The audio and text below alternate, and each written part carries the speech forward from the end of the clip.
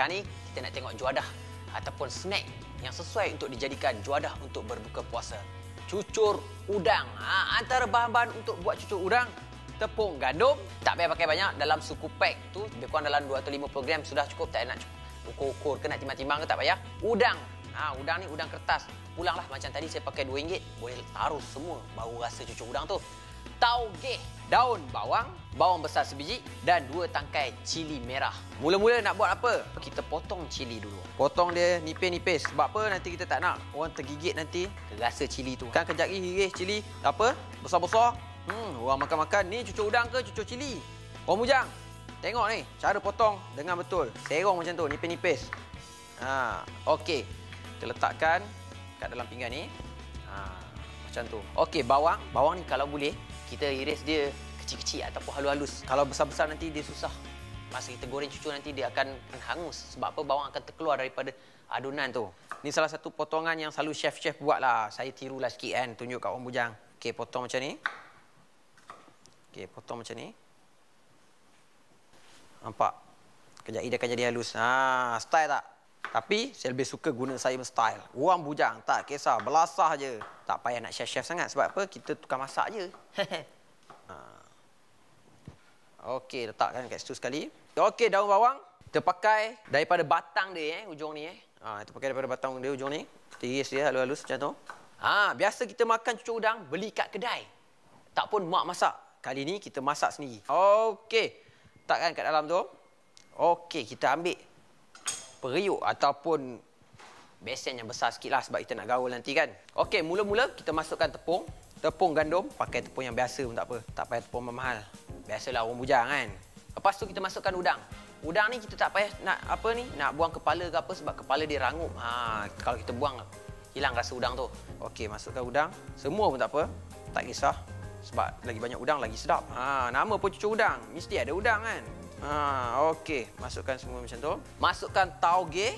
Ha, nampak tu. Oh, menarik. Okey, masukkan bawang cili dengan daun bawang. Oh, daun bawang ni nanti kalau dia dah masak, hu memang rasa dia menarik. Okey. Takkan tu je. Kita masukkan sedikit garam. Ha, garam kita pakai dalam satu ke dua sudu. Okey, sedikit gula. Gula ni nak menambah rasa lemak dan rasa manis dalam cucur tu nanti. Okey, gula sikit bagi dia rasa selemak. Okey. Dalam cucur. Ha, ini dia. Kalau nak bagi kuning letak sedikit serbuk kunyit. Ha, jangan pakai kunyit hidup pula. Kan kunyit hidup dah tak jadi cucur udang. Dah jadi masak lemak.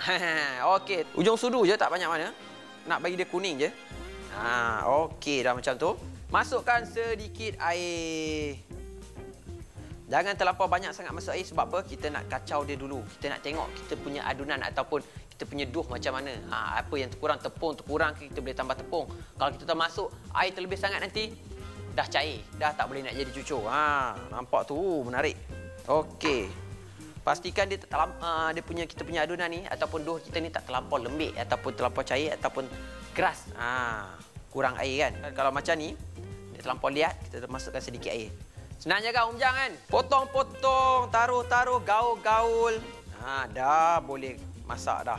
Step-step dia saya dah tunjukkan, teknik-teknik dia saya dah tunjukkan. Bahan-bahan ni pun saya dah tunjukkan. Air kita masuk sedikit demi sedikit. Ha. Apa lagi orang bujang? Jangan ambil nak melangut je depan TV tu. Dah take note apa semua kan? Ha. Apa lagi? Buat sendiri lah. Okey, macam ni dah cantik nampak. Senang je nak gaul. Licin. Tadi kalau tak tadi. Siap-siap kena panggil bulldozer ataupun backhoe. Datang gaul.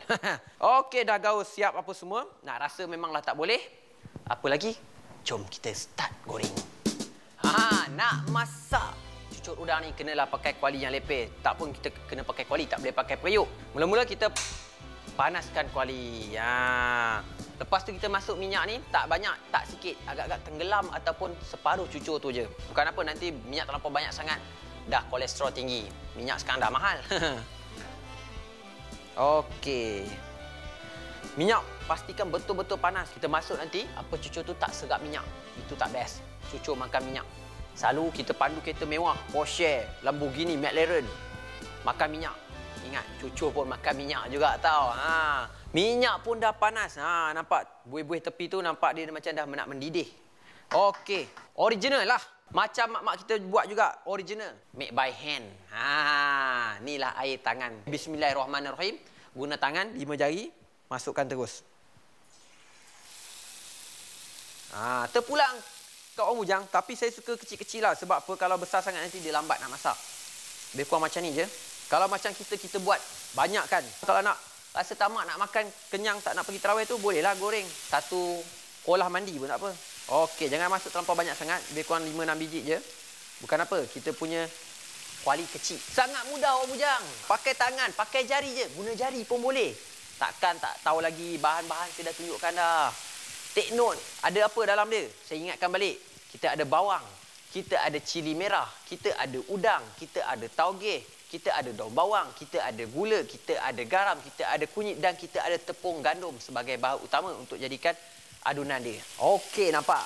Cucur udang ni tadi dah dimasak bahagian bawah dia tu dengan baik. Kita terbalikkan. Ha, kita nak masak cucur udang ni atas bahagian dan bawah dia tu ngam-ngam.